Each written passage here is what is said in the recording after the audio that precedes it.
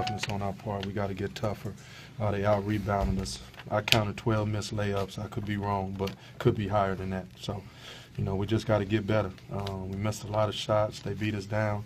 Um, just didn't have the post presence that we thought we had, and you know, we just got out tough tonight, today, I should say. Obviously, it makes it tougher to rebound when guys are in foul trouble immediately and Sean, uh, but is it just about hitting first? Is it about effort? Yeah, it's just about effort. It's just about effort, you know. I mean, that's what it's that's what it come down to. If it's a guard on him, Jalen did a wonderful job because he played with effort. Jalen six two, so I mean, it's not it's not foul trouble.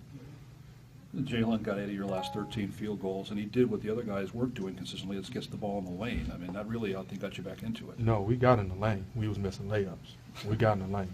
We got in the lane. Jalen got in the lane and he converted on layups. So it's a lot of other people getting going right to the rim and wasn't making layups. So, you know, we just